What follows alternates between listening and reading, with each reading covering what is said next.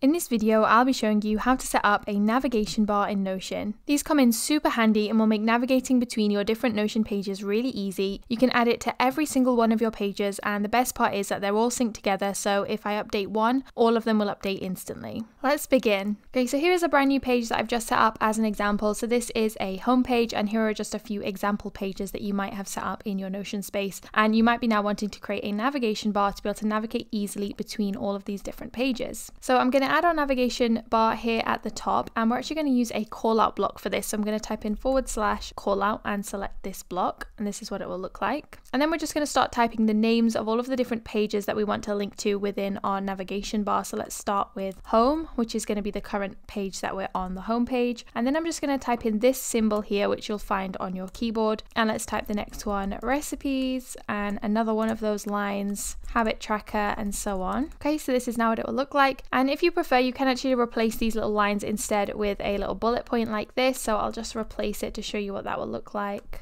Okay, so this is what it looks like with the bullet points. So it's completely up to you. Just pick whatever you think looks better. I think in this example, I'm just going to keep it as the lines for now. And once you've got that set up, we're now going to actually add the links to the different pages. So we'll start with the home page, which is this page that I'm currently on. So to grab the link for this page, I'm simply just going to click on the three dots in the corner and select the copy link option here. So we've now copied the link. And then if you just highlight the word home like this, and then just paste in the link using your keyboard. So I'm just using Command V on Mac to paste in that link. It will then add the link onto this word. So we now just want to add a link for all of the different items. So for the recipes one, I'm simply just going to come to the recipes page here, click on the six dots, and I can select copy link. And again, we're going to do the same thing, just highlight it and just paste the link on top and it will add that as a link. Now there is one other way that you can do it. You can also just highlight the word like this and click link and then you can just search for the habit tracker page here. But I actually just think it's a little bit easier just to click on the six dots here and copy the link. So that's what I'm going to do. Okay, so this is now what we have. Now you can also change the background color and the icon here as well. So if you just click on the six dots here, you can select the color option and there are a range of different colors to pick from. So for example, you could go with a gray background, which looks like this. I quite like the look of that one, or you could go with any of these colors. Let's try blue. Okay, and this is what that would look like. But just to match the theme I've got going on with the cover photo here, I am just going to go with yellow, which is what I had to start. And if you want to change this icon here, you can simply just click on it and pick an emoji. I quite like the star emoji, which is the one I've gone for. You can use Notion's icon library as well. So you could go for something like this or you can even go for this little menu icon here to make it look like an actual menu. But as I said, I quite like the star emoji, so that's the one I'm going to go with this time. Okay, so that is the navigation all set up. Now, the next thing we want to do is actually make this a synced block. So I want to be able to paste this block here on every single one of my pages at the top, and I want them to be synced together. So that if I add something new onto here, like another link, it will update every single one of the navigation bars on every single page. So what we're actually going to do is turn this into a synced block. So to do that, you can click on the six dots here, select select this turn into option and you want to select the synced block option. And once you've done that, when you hover over the block, you'll now see this red outline around it and that is indicating that this is now a synced block. Now all we need to do is just copy the link to this block and paste it on all of the different pages. So to do that, you can just click on the six dots here and you'll see this little menu appear here. So I'm just going to click copy and sync. Okay, and now let's head over to the recipes page. So this is just an example page that I set up. So just underneath here, I'm just going to paste the link to the block. And we'll now head over to the habit tracker. And similarly, I'm just going to do that on every single page. Okay, so now that we have the navigation bar on every single page, I can just click on the different buttons and it will take me to the appropriate page. So it's really easy now to navigate navigate between the different pages. And as I said, because this is now a synced block, if I add anything new to any of the navigation bars on any of the pages, it will update on all of them. So let's just add another page here as an example. So I've just quickly set up this book tracker page. So I now want to add that into my menu. So I can simply just come on here, edit and add the book tracker. And I'll just paste the link on top as well. So we've now added that onto the navigation bar. So now if I go to my habit tracker page, as you can see, the book tracker is now appearing on here, even though I didn't edit this navigation bar. That's all down to the synced block. So if I go on any of these pages, it now has the book tracker. I can add anything I want on here. Let's just add a smiley face like this. And if I go to the recipes page, here is our smiley face. So as you can see, it does update on every single page. And that's it. You can check out all of my pre-made Notion templates over on my store, including this advanced second brain template, which is an all-in-one productivity system. I'll leave a link in the description box below. And if you did find this video useful, then I'd really appreciate if you could give the video a thumbs up and subscribe to the channel as I upload new Notion tutorials like this one twice a week.